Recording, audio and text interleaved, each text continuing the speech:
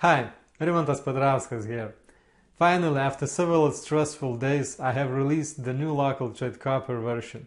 Do not get confused because I have other Trade Copier applications and this announcement is only for the local Trade Copier for now. I'm still working to upgrade my other applications.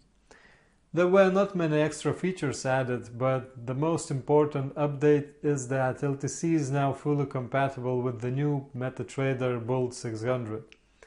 It will load correctly on startup and will be able to save previously used settings in the correct file location.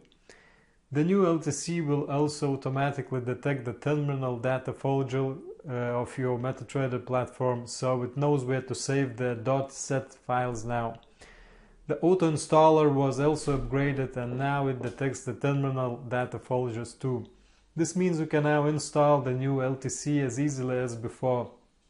LTC should also work on old MetaTrader terminals as well. The new feature that has been added is called Custom Symbol Mapping.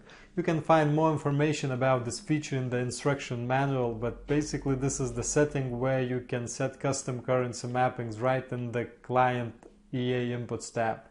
For example, you can set your client EA to map a gold symbol from the master account and have it recognized by another symbol name on the slave account. You can download the new LTC in the download center as usual. To make sure that you have downloaded the latest LTC version, look for the date on the left side in the auto installer window. It should say 2014 February 7th. If you face any problems, please contact my support desk.